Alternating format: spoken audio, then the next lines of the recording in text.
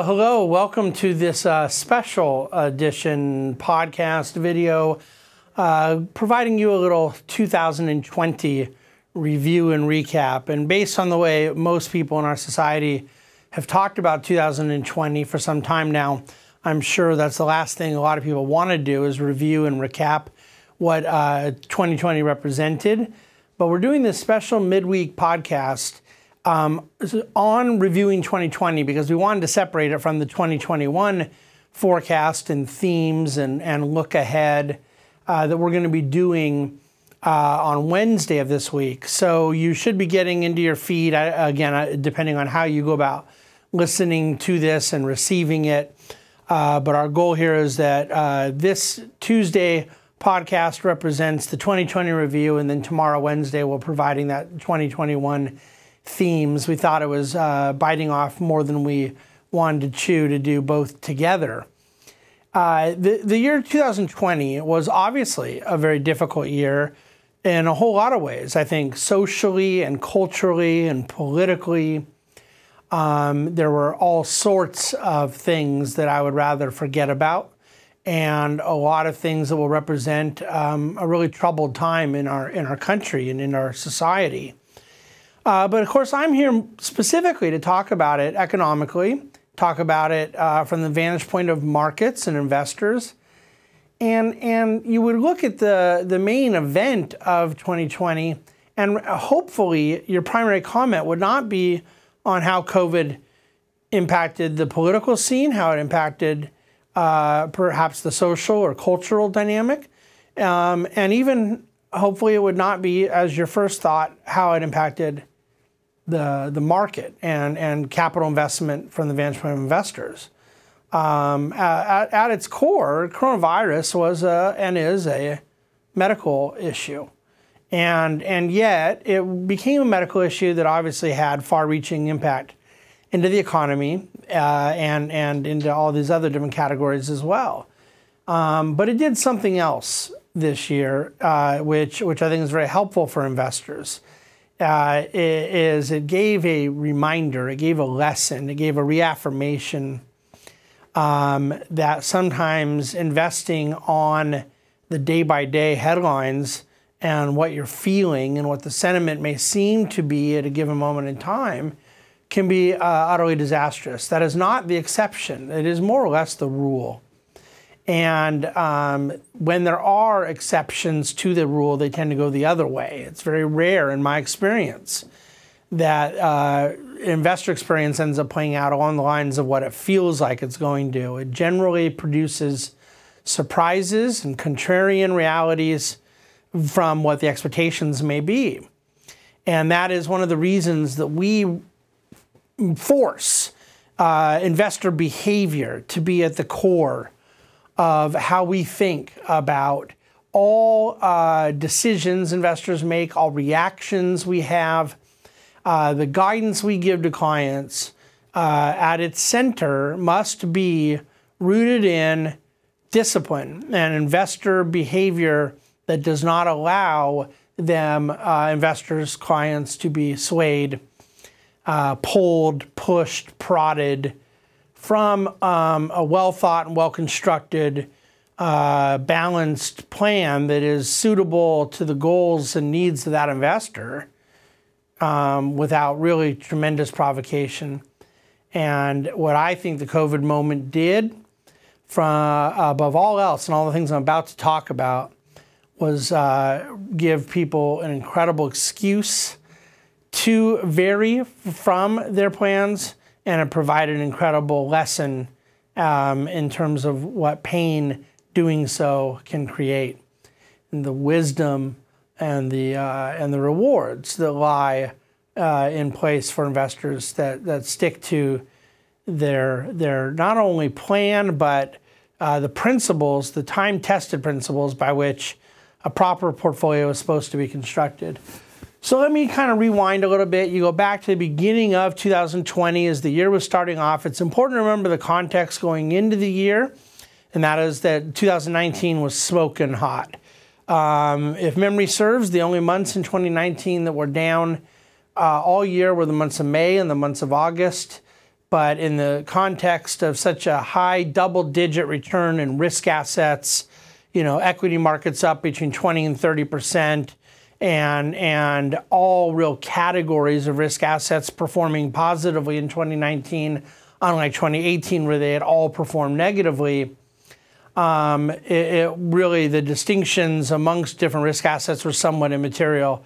People did quite well being invested, and particularly in the fourth quarter of 2019 when what had been a big stumbling block to markets, the uncertainty surrounding China, uh, U.S. China trade negotiations was was mostly resolved. And so you exited 2019 with a Fed having cut rates, having chickened out on their 2018 commitments to tightening monetary policy, and with the overhang of the US China trade war um, uh, not fully resolved, but at least moving in that right direction, and a, and a phase one trade deal having been agreed to in December and then executed upon in January of 2020. So when I say that the first six weeks of 2020 added another thousand points to uh, the Dow, um, you have to understand that's on top of what had been several thousand points from 2019 already. And ironically, what was probably the big uh, uh, catalyst to additional return in early 2020 was actually China.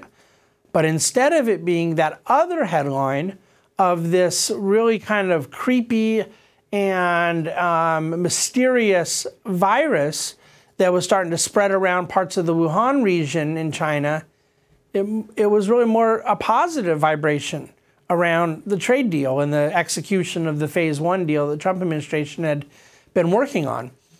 So, of course, by late January, the reports of what was happening in the Wuhan region were taking off a bit.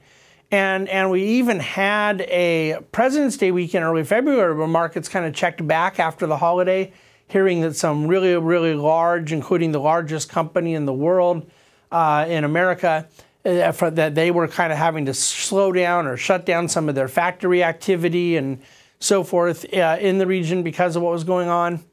But to give you an idea of how totally unrealistic it was to markets and to most thought leaders at the time, as far as the gravity and seriousness that would, of course, end up coming out of COVID 19 it was February 25th, I mean, almost to the very end of the month, that the Democrats had their last competitive debate. It was their last multi multi candidate debate. Uh, because after the South Carolina primary, a few days later, all the other candidates besides Bernie Sanders and Joe Biden backed out of the race, or going into Super Tuesday a couple days later. Um, but you had all of those, you know, candidates up on stage on February 25th. And I had spoken at a conference earlier that day and was in my hotel room after the conference uh, up in West LA, had had a client meeting and got back in time to watch the debate. And the entire debate went by without a single mention of COVID. And that isn't because they all knew what was going on and were choosing not to talk about it. It was because even at that late point, it, it, simply wasn't the issue that it was about to become just really a couple weeks uh, later that obviously would dominate most of, of the news of 2020. So uh, markets did in the last week of February start to check back. Um, in the first kind of leg down from those new highs that had been created, I believe it was Friday, February 13th, if I remember correctly. Um, I remember it was going into Valentine's Day weekend. I was in New York at the time, and markets had hit new highs. And um, by the end of February, markets had started to reverse, but not violently, but just more around the uncertainty of what was going on around China, what was going to happen with global trade. Um, and also, it, at that point, had not really come to America much that we knew of yet. I actually think it was very heavily in America at that point, but not that we knew of or were talking about, but it was rather well spread into certain parts of northern Italy and, and even parts of South Korea. And so at that point, this was no longer just a Wuhan region story in China, but was becoming more of a global pandemic. Um, the first week of March, you then uh, saw Joe Biden uh, pummel Bernie Sanders on Super Tuesday, and every other candidate who got out of the race endorsing Joe Biden.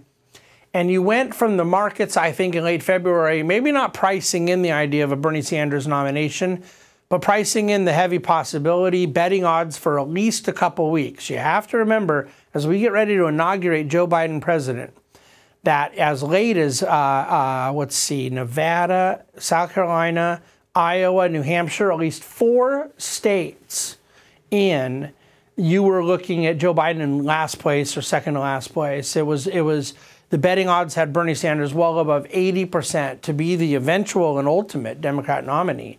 But then Biden's come from behind win in South Carolina and a very quick uh, coalescing around him from the other candidates caused the Democratic primary to change suddenly and significantly. So with that um, new candidate, uh, more or less the the uh, the presumed nominee now going into March, markets settled a bit around that front, and in fact, the first week of March going into the Friday close. It was Friday, March 6th, and the Bahnsen Group was a sponsor at a charity golf tournament. It's an annual tradition here in Newport Beach, a pro golf tournament. And as late as that Friday, March the 6th, um, let's see, 7th, 8th, 9th was the weekend, I believe, yeah. Uh, let's see, 6th, 7th, 8th, yeah, was the Friday, Saturday, Sunday. Um, I have a very weird memory, by the way, and can remember dates pretty much off top of my head as long as I can associate it with something else. And these are, uh, particularly in the few weeks we're about to go through, dates that you know I'll never forget. Well, that golf tournament, we had dozens of clients coming in our hospitality tent, visiting, watching golf. Um, I don't think there was even such thing as people wearing masks at the time. Uh, now, at that point, events were starting to get canceled. Uh, there were certain hotel conferences getting canceled or delayed or suspended. Um, South by Southwest, a big music uh, uh event in Austin, Texas, they went ahead and canceled that. So, so stuff was really starting. Okay, but again, the golf tournament happened. Markets that week had settled, and then that's the end of that. That's the end of me saying the word settled here as we then went uh, through what really was the most violent couple of weeks in the market uh, since the, the great financial crisis and those those fateful events of, of September in, in 2008. Well, uh, that Sunday night, um, I was leaving the golf tournament and actually had a red eye flight out of LAX to go back out to New York and the our our phones and devices and new you know I get news from so many different places and in so many different formats it becomes kind of obnoxious when you have a sort of major event releasing between the tweets and texts and pop-ups and alerts on multiple devices. But I was blowing up as they say right? Around uh, Saudi and Russia announcing that they could not come to a, uh, a deal to curb uh, supply and that they were in fact were going to increase production and just flood the world with oil, uh, essentially announcing a commodity war. Um, on that Sunday uh, for us in California, it was Sunday early evening, but it was really, you know, the next day uh, for the eastern part of the globe. And I, I, did my flight to New York. I got in, and then that Monday, which was March the 9th, uh, the market was down 2,000 points. And so then the very next day, I took a train into Washington, D.C., where I had meetings with the National Economic Council in the White House. And we were talking about plans to get a really, at the time, it seemed like a big deal, but now in hindsight, it's laughable, just a small kind of stimulus thing to get done. And when I say small, I mean, you know, just $75 billion, right? But based on what, as you know, is about to happen, that really actually was very small but they were debating what the kind of you know ingredients of some sort of package need to look like and I got to sit in on some really interesting meetings and even at the time the the belief very sincerely was that these things were going to pass that there was a lot of damage being done, but they needed to figure out how to kind of plug the hole, get on the other side of it. Um, well, I think that that Wednesday, March 11th, will kind of always be remembered as the day where all of a sudden coronavirus came to America. Um, it is just one person who, from what I understand, was better in three days. But even the symbolic significance of one of America's most famous actors, Tom Hanks, announcing that he and his wife uh, at a movie set somewhere out of the country had come down positive with the virus. Uh, the NCAA canceling their March Madness college basketball tournament.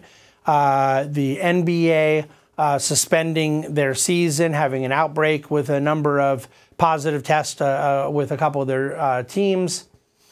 Um, and then President Trump doing a kind of emergency um, announcement from the White House announcing he was suspending all uh, uh, air traffic in and out of Europe.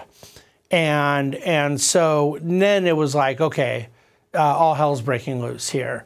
And, and so that next Thursday, uh, the 12th, um, the markets were down another 2,300 points. Now they had rebounded in between a little bit, but it was just you know uh, utter debacle in the markets, uh, and all that was governing things was uncertainty and really a total unawareness as to where this thing was going. Surprisingly, that Friday, March the 13th, um, the markets rebounded 2,000 points that day. A lot of it being in the end of the day. The White House announced a coronavirus task force. That's sort of the beginning uh, part of where America got introduced to actually long time um, government medical bureaucrats, but nevertheless in becoming household names, uh, began right around that time with Dr. Anthony Fauci and Dr. Deborah Birx. Uh, Vice President Pence uh, spearheading this task force that was announced, and there was, I think, some market optimism around the idea that they were going to be able to start increasing testing people forget that we had virtually no testing going on at the time, and, and uh, understandably, that was a big uh, point of concern. Uh, so I walked back. By the way, that morning I um, appeared on Wall Street Week with Maria Bartiromo. Um, I've been a guest on that show uh, quite a few times over the years. I've actually done it at least once, if not twice, since then remotely.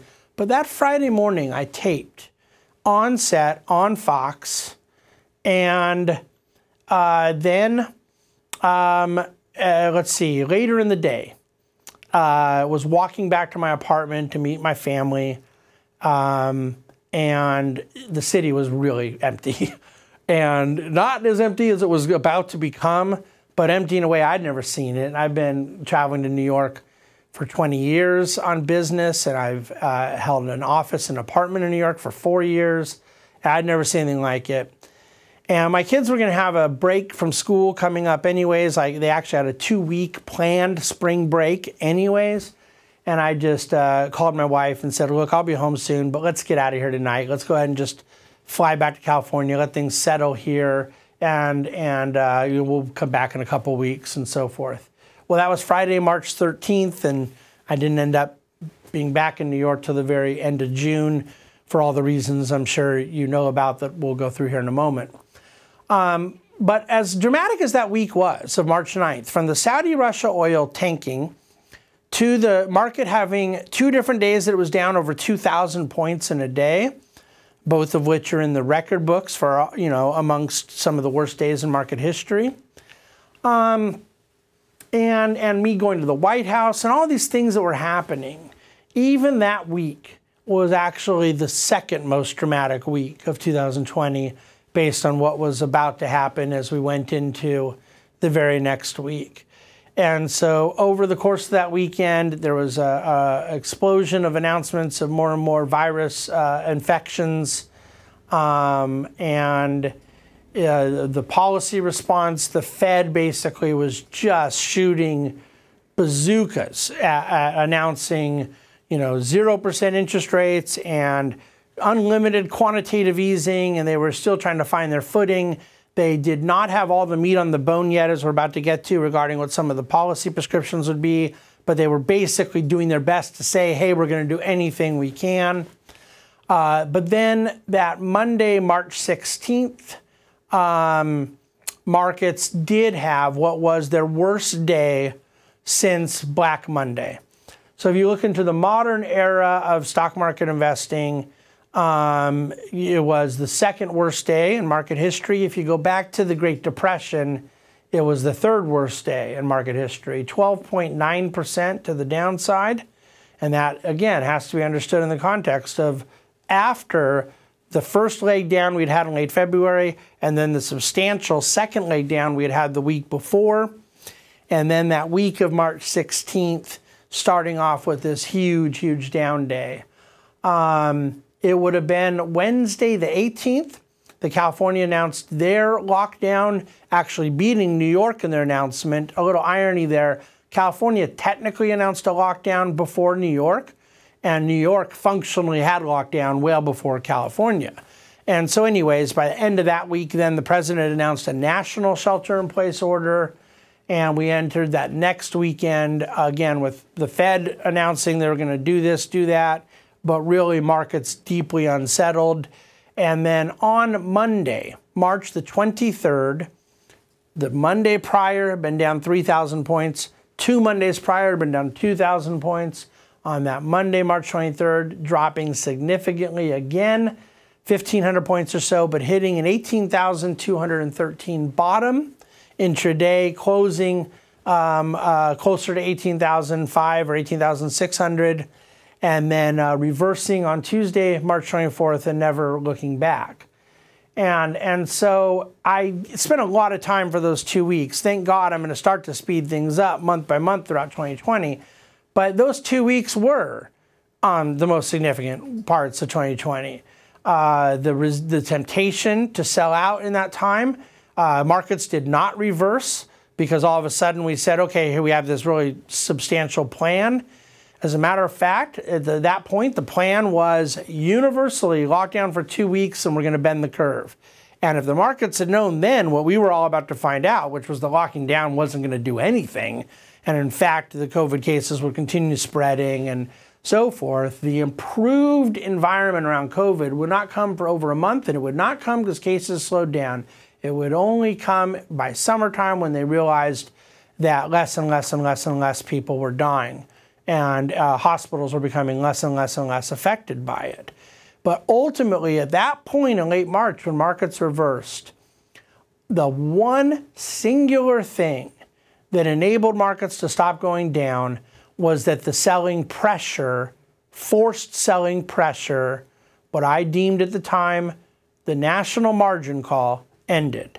That we had half a trillion dollars effectively of equities that were forced out of hands of leveraged owners.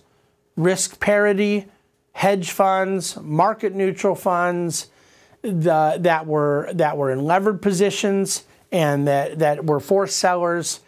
This was causing tremendous disruptions in the corporate credit markets, bond spreads, municipal bonds were getting whacked, very high grade corporate bonds were getting whacked, and there was almost no discrimination within equities as to what was going down or what wasn't going down. Everything was getting hammered. Well, the forced selling came to an end um, and and then the other piece to it was the Fed's announcement that they were going to begin buying corporate bonds. Now, I forgive you if your thought is, what in the world would the Fed buying corporate bonds have to do with stocks? What would make stocks stop going down? What would make anyone feel better about equities? Knowing that the disease was still really out of control, there was no real understanding as to what was going on or when it was going to end or what the impact was going to be to the economy. And in fact, those things all worsened later, and the Q2 annualized GDP contraction would be over 30% on an annualized basis. Um, so you just had a complete and total cessation of economic activity in the United States. And yet, equities found a bottom and, in fact, began rebounding thousand points by the end of March, another couple thousand in April, another thousand or so in May. And we got back to the early part of June at 27,000 Dow and we had started off early part of March at 27,000 Dow. And yet, actually, in between went down all the way to 18,000 plus change. Simply surreal. Um, well, the reason that the Fed's interjection into corporate bonds affected stocks so much was because the Fed was announcing they were going to provide whatever liquidity, they were going to prime whatever use of credit was needed to maintain market functioning. So it enabled a completely different posture, not just to stocks, but to risk assets that um, some leverage could come back in the system, some carry trade could come back in the system. Uh, swap lines with foreign banks were reopened. Uh, the ability to lower one's cost of capital has an instant increase on one's earnings. And hedge funds and sophisticated investors immediately saw that the reality was that not only was the E of a P to E ratio, the price and earnings, that the E was going to come out better off once we got on the other side of the economic pain because companies would have a lower cost of debt, so higher earnings, but that also the PE ratio itself, the multiple, the valuation that we put on equities was going to come out much stronger. And the reason being because the Fed was pushing down the risk free rate, what we call the discount rate, by how we measure and value the cash flows of risk assets. So by going to a 0% rate environment and assuring there would be ample amount of liquidity and credit sloshing around and then pushing up earnings by pushing down cost of capital, it became a perfect storm for risk appetite to come back into all risk assets and, and it came back into equities. It was not fundamentals. It was not uh, the fact that everyone was able to immediately see that there would be a vaccine, uh, you know, just seven or eight months later and all those kind of things. It, it was literally a byproduct of how financial markets work. And so then we did go into April, and I mentioned getting more meat on the bone about what the Fed was going to do. Uh, not only did the Fed end up announcing this primary corporate credit facility and a secondary corporate credit facility, but they announced that they were going to include in that buying junk bonds, high yield bonds. They were actually buying ETFs of some of these bonds to support that low cost of capital and support a uh, proper amount of credit getting into companies who needed access to credit. Companies that were talking to the government about some sort of federal bailout all of a sudden were able to go to the bond market and just refinance debt and generate tons of liquidity. Um, it was a it was a backdoor way of supporting capital markets. There were some good things that they did there. I think there were some really dangerous moral hazard things done, but I'm only describing to you what took place so you understand why markets recovered the way they did. Well, as we move things along throughout April and May, um, the, the lockdowns just continued, and there, and there was this sort of continued kind of punting a little bit, moving the the goalpost, and and more and more um, people were were just sort of content that they were kind of stuck in their home, and that's where this work from home stuff came about. Kids were uh, doing distance learning for school, or at least 60 to 70 percent were. A significant amount weren't really doing school, which was just an utter tragedy. But then the cases really started dropping. The positive ratio started dropping. Testing started increasing. Um, it, it, took quite a while, uh, but I think going into summer, there was a bit of optimism. Well, of course, the problem was that COVID couldn't be contained from the mere lockdown and then reopening because it was a virus. It had already broken out into the community, it was going to spread. And so I spent an incredible amount of time from May all the way through the summer into the fall with my uh, daily COVID and markets missives, uh, talking about what was happening as what the press like to call a second wave. I am adamant that it was a first wave um, in those states but we had a real significant increase of exposure to COVID in Florida, Arizona, and Texas, and uh, basically spent the summer uh, trying to figure out where the virus was headed and what the good news, bad news was about this really quite heavy growth in cases. But through the entire time, the markets didn't blink. And in fact, markets uh, who, which ended the month of June in the 25 to 26,000 range, actually went up another 1,000 or 2,000 points throughout the summer. And the hospitalizations stayed contained. It got a little hairy in certain pockets there, um, but never ran into the overload that many had feared. And uh, in fact, the fatality rate uh, continued to decline. And so then we got through the end of summer, markets in a good position, and feeling that, okay, we don't have a vaccine yet, we don't have COVID licked, but the society is doing a better job at learning to live with it. And we knew who our more vulnerable people were we needed to protect, and that was sort of what the thought would be around where to focus public policy. So we go into the fall, but then you did have a little problem, and that was that technology stocks had rallied unbelievably throughout the summer, just like you can't even imagine. And so tech had to have a little repricing and a little kind of check back in September from which, for which it was very much due. Um, and then you get into the month of October. Uh, the COVID numbers are still reasonably settled from that scare of the summer um, and obviously the horrific scare from the spring. But there was an awful lot of uncertainty around the election. At some point, the betting odds and the polls that earlier in the year had pretty consistently assumed that President Trump, on the backs of a really strong economy, was going to be reelected. And now the economy was weak, uh, and from debate factors to polling to social media to a lot of other things, uh, President Trump was now campaigning as an incumbent underdog. And there was concerns that the Democrats may take the Senate and raise taxes and uh, increase regulation and do different things that might affect markets. Regardless of what one's political aspirations for these different things would have been, markets had an uh, understandable degree of uncertainty embedded in them.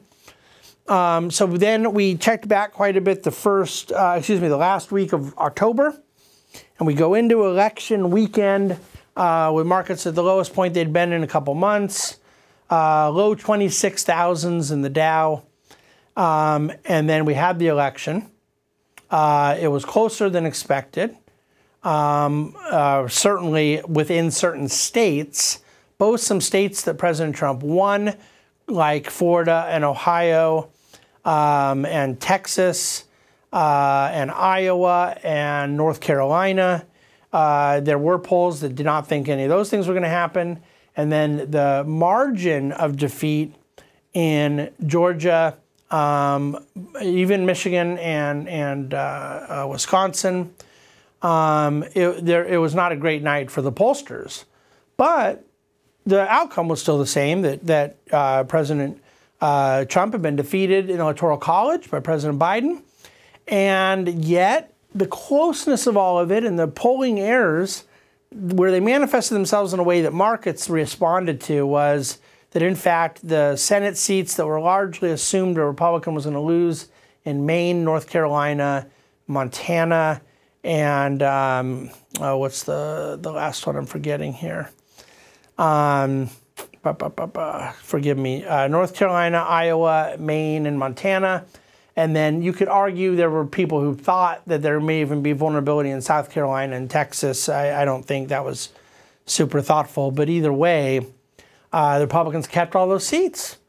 So the markets just rallied huge. And the idea of more divided government, that there was not going to be the, the pain and, and anguish that we had post Bush v. Gore. I understand there's a lot of controversy for some around the way things have played out, but the markets certainly understood that there was uh, um, a resolution and clarity about how the election had ended, even if it ended differently than some had expected. So, month of November, markets rallied quite substantially. Um, we started to see some of the picks of uh, Team Biden, some of his transition team, his cabinet. Um, there, it's filled with some individuals that are controversial in some cases, others that were really widely respected. Uh, from my vantage point, I would say that the selection of Janet Yellen at Treasury Secretary was surprising, but I think a good pick for him. Um, and and so the way I worded it at the time was it's not the pick I would have made, but it's as good of a pick as I would have expected him to make. And so all those things kind of wind up. Um, you went into December, kind of paused a little bit. Certainly now with winter flu season, there there was another uh, resurgence of COVID. Europe had more restrictions, but this time restrictions did not mean people couldn't go to work, couldn't go to school. It was a much more qualified restriction. Uh, things like like certain big cities trying to limit indoor dining and, and things like that, but not the holistic suffocation of economic activity that we had experienced in the spring. Uh, markets rallied pretty substantially into the end of the year, um, uh, largely in anticipation of the facts on the ground, which are that bonds don't look attractive and a lot of international markets don't look attractive. Um, but from the vantage point of U.S. equity with a lot of money floating around, it becomes a space that, that people feel better about relative to other alternatives. And so here we are entering 2021 with um, a year behind us that will be in the history books, no doubt. Uh, we do enter 2021 with an expensive market as far as index investors are concerned. But a lot of our forecast, our thoughts, our themes, our perspectives for the year ahead, I'm going to make you wait till tomorrow, where I'm going to do kind of the second parter of this conversation, talk about 2021. The major takeaways I would offer you with 2020 is that what took place in March uh, has a rapidity to it, a violence to it, um, frankly, um, a misery to it that is unfortunately part of being an equity investor. Um, thank God it doesn't happen all the time, but when you when you look at the COVID moment, the financial crisis, 9 11, those of you who were investing during the crash in 1987, you're not talking about, you know, um, hundreds of years in history here. That's essentially in a 30, technically 33 year period of time, there's been four cases where markets just lost their bottom and fell.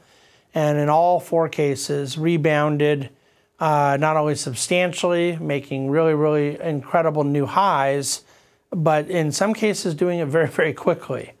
Um, and in all cases, doing it much quicker than anyone could have expected during the time we were going through the moment.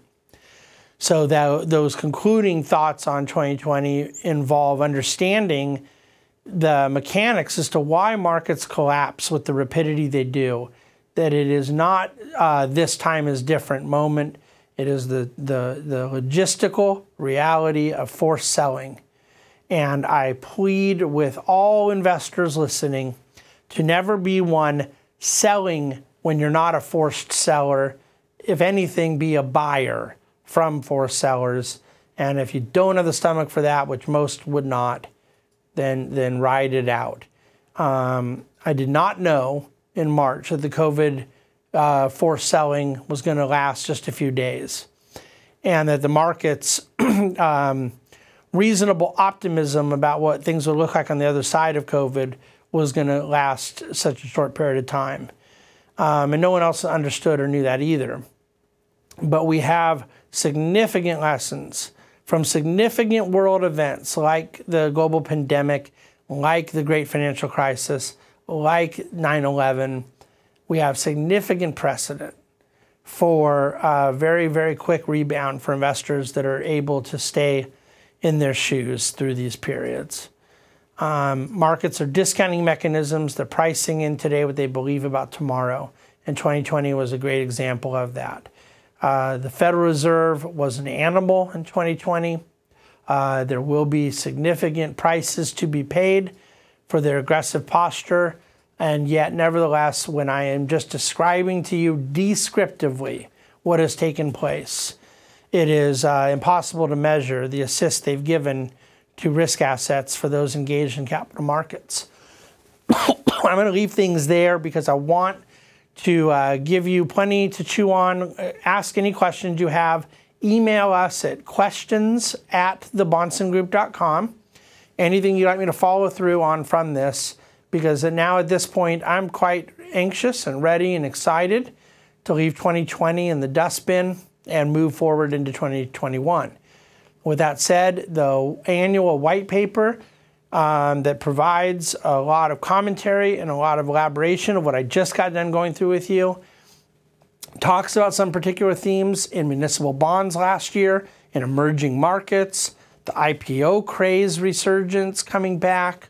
Um, there's some really, really fascinating charts. I absolutely encourage you to read that white paper.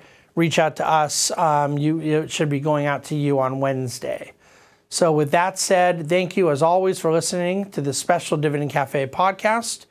Reviewing 2020, we look forward to part two of our little series here uh, tomorrow. Thanks for listening.